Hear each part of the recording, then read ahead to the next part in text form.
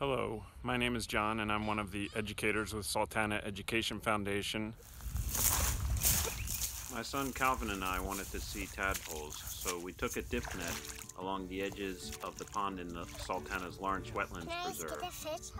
We caught different forms of life with almost every scoop. There was a good amount of juvenile sunfish,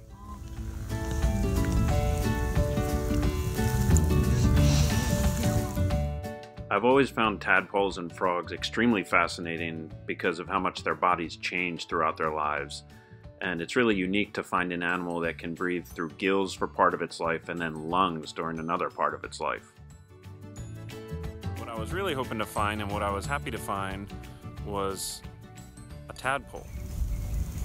Tadpoles are the larval stage of amphibians, and with these types of frogs, that stage can last for up to two years.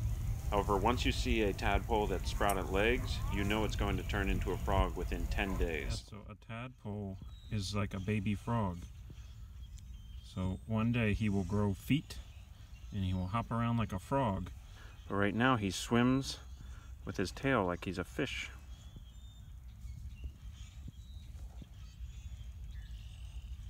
He good, Bobby. What does he what does he feel like? Slimy. Feel slimy? Good. Okay, you can let him go in the water. Where's the tadpole? Did he swim away? Yeah. Yeah.